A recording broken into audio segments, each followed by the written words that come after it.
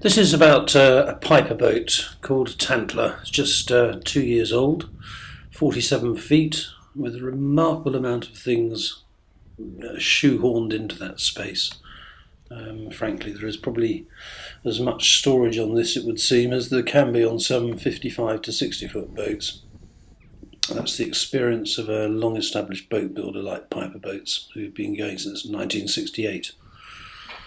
Um, this is the well deck underneath the cratch cover at the front. Here you can see there are two glazed panels in the cratch board. Um, both are hinged, which makes it far easier to get the gas in and out instead of having to clamber over the bow. This is the saloon looking in from the front. You can see there's a very cosy space, two comfortable chairs, solid fuel stove,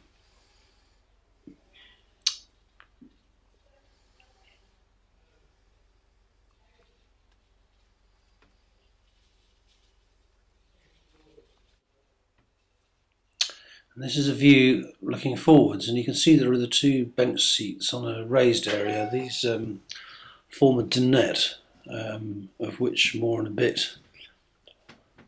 Just panning backwards to show you the whole of the saloon.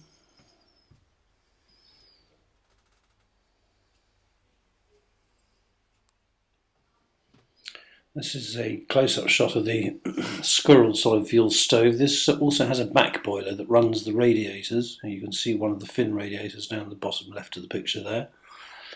Um, but the central heating is also run by an Eberspacher diesel boiler.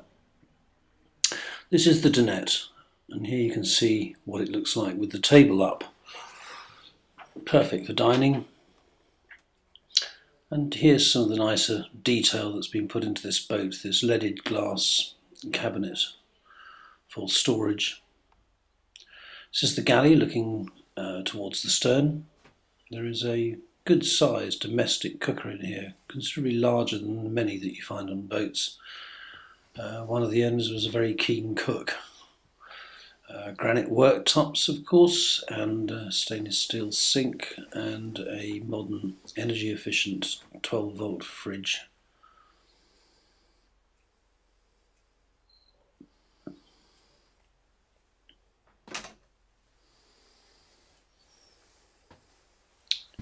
Now we approach the bathroom, which is a, a walk-through right across the boat to optimise the space uh, in it there is a small bath with a shower over, a pump out loo, and um, a basin, as you might expect.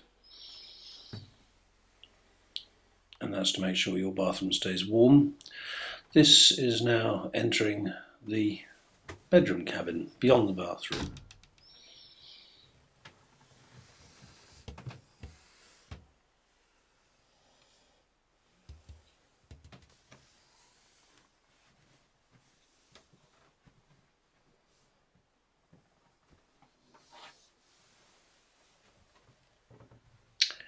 Here you have a, a wardrobe.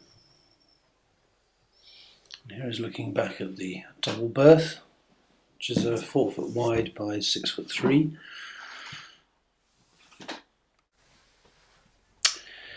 This is a wardrobe to give you some idea of the storage, and this is inside it. Hanging rail, decent amount of room.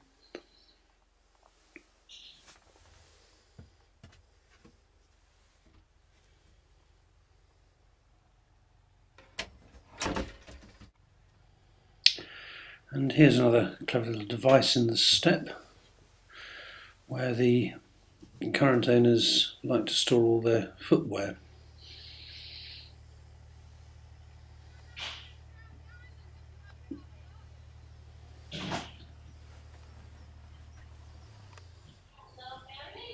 This is now leading into this small aft cabin, engine below the floor. There's the inverter the instrument panel.